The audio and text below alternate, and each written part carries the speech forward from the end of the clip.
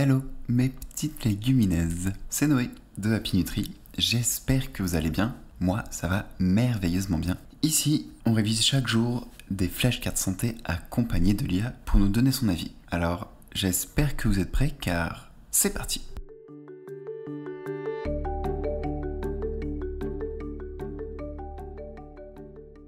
C'est quoi un antigène?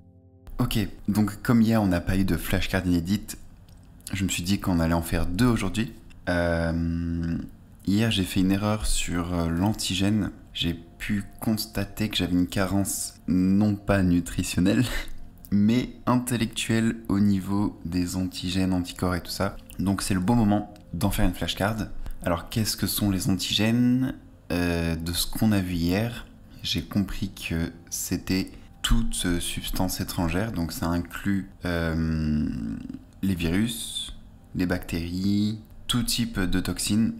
En fait, euh, tout ce qui est considéré comme euh, ennemi pour le système immunitaire. Quoi. Donc on a vu hier que les immunoglobulines euh, étaient aussi appelés anticorps et que ces derniers se liaient aux ennemis qui menacent le système immunitaire. Ces ennemis appelés donc aussi antigènes. Donc les anticorps luttent contre les antigènes en soi, si j'ai bien compris. Euh, voilà, je vais rien dire d'autre parce que je sais pas plus. Donc on va passer tout de suite à la vérif. C'est parti. C'est quoi un antigène? Un antigène est une substance étrangère au corps qui déclenche une réponse immunitaire. Les antigènes peuvent être des protéines, des polysaccharides, des lipides ou des acides nucléiques présents à la surface des pathogènes comme les bactéries, les virus, les champignons ou les parasites. Lorsqu'un antigène est détecté par le système immunitaire, il déclenche la production d'anticorps, immunoglobulines, spécifiques qui se lient à l'antigène pour le neutraliser ou le détruire. Les antigènes peuvent aussi provenir de substances non infectieuses comme les pollens, les produits chimiques et les cellules transplantées. Ah oui. Les anticorps produits par les lymphocytes B reconnaissent et se lient spécifiquement aux antigènes via leur région variable. Cette interaction spécifique fonctionne comme une clé anticorps qui s'insère dans une serrure antigène. Le terme antigène vient de anti, contre, et gène, producteur, signifiant producteur de contre-réaction. La compréhension des antigènes a évolué avec le développement de l'immunologie au 19e et 20e siècle, avec des figures clés comme Paul Ehrlich et Karl Landsteiner. Exemple en médecine. Vaccination. Les vaccins contiennent des antigènes inactivés ou atténués qui stimulent la production d'anticorps sans causer de maladie, préparant ainsi le système immunitaire à reconnaître et combattre les infections futures. Tests allergiques. Les tests cutanés d'allergie utilisent de petites quantités d'antigènes pour déterminer les substances auxquelles une personne est allergique. Comparaison et visualisation. Comparaison antigène versus anticorps. L'antigène est la substance étrangère qui déclenche une réponse immunitaire, tandis que l'anticorps est la protéine produite par le système immunitaire pour se lier à l'antigène et le neutraliser. Imagine les antigènes comme des drapeaux étrangers plantés sur des envahisseurs pathogènes. Les anticorps, comme des détectives du système immunitaire, recherchent ces drapeaux pour identifier et neutraliser les envahisseurs. Pour te rappeler ce qu'est un antigène, pense à Antiforeign Generator, générateur de contre-réaction contre les substances étrangères. 1. Qu'est-ce qu'un antigène et quelle est sa fonction principale? 2. Donne deux exos d'antigènes. 3. Explique comment les antigènes et les anticorps interagissent selon le principe de clé-serrure. Alors, euh, ça fait trois questions. Donc la première, un antigène, c'est toute substance qui nuit au système immunitaire.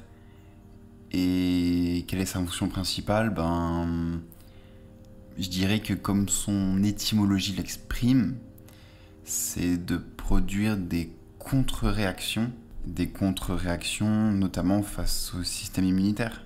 Après, tu m'as demandé de citer deux exemples d'antigènes. Euh, je vais citer le pollen de bouleau, par exemple, euh, en antigène non infectieux et qui devient antigène en fonction de l'individu, de son allergie et tout ça.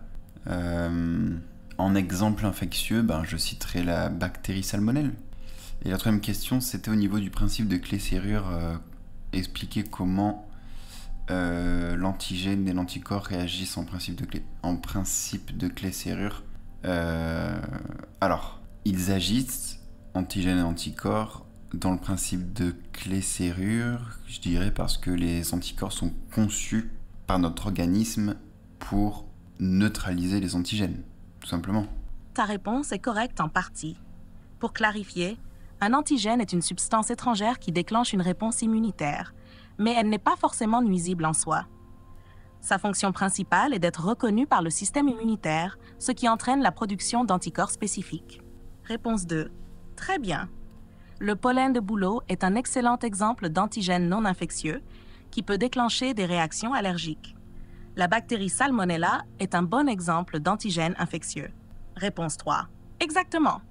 Les anticorps sont conçus pour reconnaître et se lier spécifiquement aux antigènes, neutralisant ainsi les agents pathogènes selon le principe de clé-serrure. Bravo pour tes réponses.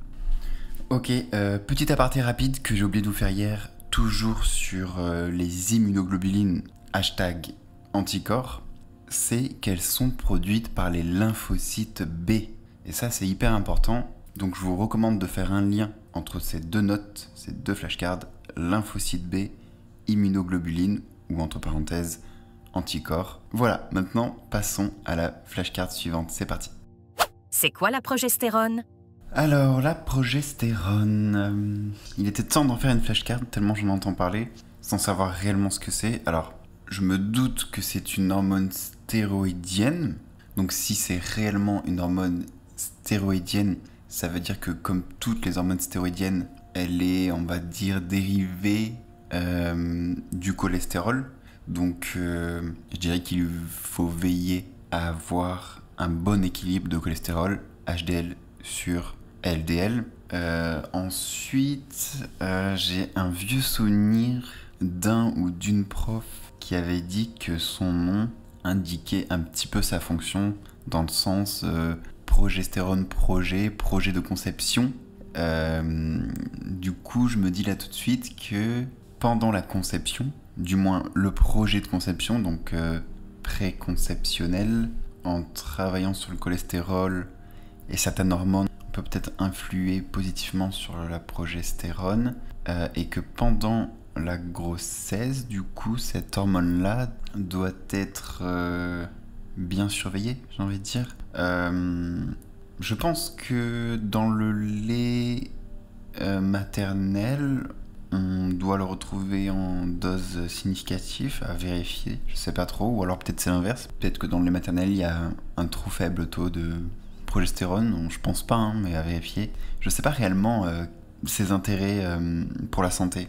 J'essaie de réfléchir là, mais je vois pas trop. euh, je vois pas trop à quoi servirait. Peut-être que là, je suis en train de penser. Peut-être qu'elle est intéressante euh, pour la mère et que ça va l'aider euh, peut-être à produire plus de lait pour son enfant, ressentir moins de douleur pendant l'allaitement. Je sais pas quoi ajouter là en vrai. Je, je cherche, mais ça vient pas. Donc, passons à la vérification. C'est parti. C'est quoi la progestérone? La progestérone est une hormone stéroïde qui joue un rôle clé dans le cycle menstruel, la grossesse et le développement embryonnaire chez les femmes. La progestérone est principalement produite par le corps jaune dans les ovaires après l'ovulation et par le placenta pendant la grossesse. Elle est essentielle pour un cycle menstruel. Après l'ovulation, la progestérone prépare l'utérus pour une éventuelle grossesse en épaississant l'endomètre, muqueuse utérine. Si l'ovule n'est pas fécondé, les niveaux de progestérone chutent, entraînant la menstruation. 2. Grossesse. Si la fécondation a lieu, la progestérone aide à maintenir la grossesse en soutenant un environnement utérin favorable et en empêchant les contractions prématurées. 3. Développement mammaire. La progestérone stimule le développement des glandes mammaires pour la production de lait en vue de Ah. l'allaitement. C'est bien ce que je me disais.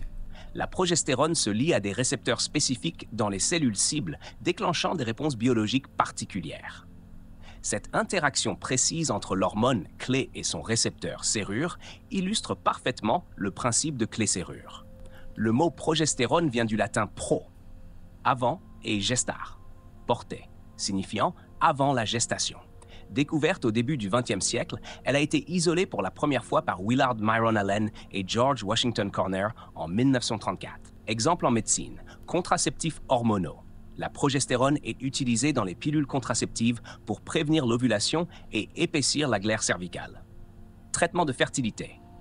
Elle est administrée pour soutenir la phase lutéale et prévenir les fausses couches chez les femmes ayant des niveaux insuffisants de progestérone. Culinaire. Recette. Salade de légumes feuillus. Les légumes comme le brocoli et les épinards contiennent des phytoestrogènes qui peuvent aider à équilibrer les niveaux hormonaux. Ajoutez des noix et des graines pour une dose de graisse saine, nécessaire à la production d'hormones stéroïdiennes. Comparaison progestérone versus estrogène. La progestérone et l'œstrogène sont deux hormones clés. L'œstrogène est principalement responsable de la régulation du cycle menstruel et du développement des caractéristiques sexuelles secondaires tandis que la progestérone prépare et maintient l'utérus pour la grossesse. Imagine la progestérone comme une architecte qui prépare une maison, l'utérus, pour accueillir un invité spécial, l'œuf fécondé. Elle s'assure que tout est en ordre et confortable pour une longue période d'accueil. Pense à progestation, pro pour avant et gestation pour grossesse, rappelant que la progestérone prépare et maintient la grossesse. Quelle est la principale fonction de la progestérone dans le cycle menstruel? 2. Comment la progestérone soutient-elle la grossesse? 3. Quelle est la différence principale entre la progestérone et l'œstrogène? Alors, euh, premièrement, dans le cycle menstruel, la fonction principale euh, de la progestérone, c'est de préparer l'utérus à une grossesse. Après, j'ai pas trop compris comment, donc m'en veux pas. Et d'ailleurs, par rapport à la grossesse, ça rebondit sur la troisième question où tu demandes la différence entre oestrogène et progestérone, ben, la progestérone, comme je viens de le dire, elle prépare vraiment la femme pour une grossesse, alors que les oestrogènes, euh, je dirais que ça régule le cycle menstruel principalement, et après tout ce qui est euh, sexuel en amont. Alors l'autre question, c'était euh, comment la progestérone soutient la grossesse? Ben, en réduisant la probabilité des contractions. Réponse 1. Correct. Pour clarifier, la progestérone prépare l'utérus à une grossesse en épaississant la muqueuse utérine, l'endomètre, la rendant ainsi prête à accueillir un ovule fécondé. Si l'ovule n'est pas fécondé, les niveaux de progestérone chutent, entraînant la menstruation. Réponse 2. Exact. La progestérone soutient la grossesse en réduisant les contractions prématurées de l'utérus et en maintenant un environnement utérin favorable pour le développement de l'embryon. Réponse 3. Bien expliqué. Les œstrogènes régulent le cycle menstruel et sont responsables du développement des caractéristiques sexuelles secondaires, tandis que la progestérone prépare et maintient l'utérus pour une grossesse. Bravo pour tes réponses. Tu as bien compris les concepts clés. Continuons avec une nouvelle question pour approfondir tes connaissances en nutrition et biochimie. Non, non, non, non, non, fini pour aujourd'hui là. bon, les mangeurs malins, je ne sais pas trop dans quel terrain je mets les pieds, mais en tout cas, les hormones, notamment plus conséquentes chez la femme, sont un vrai puzzle de 100 000 pièces. Donc euh, il y a de quoi faire énormément de flashcards. Pour être franc avec vous, c'est pas ce que j'aime le plus et c'est pas ma spécialité, mais comme c'est lié à la santé, je me dois d'avoir les bases. Donc on fera toujours ensemble des flashcards en lien, mais peut-être moins que par exemple le système nerveux quoi. Voilà voilà. Terminé pour aujourd'hui. Si vous êtes resté jusqu'à la fin, félicitations. Restez motivés et je vous dis à demain pour une prochaine révision. Ciao ciao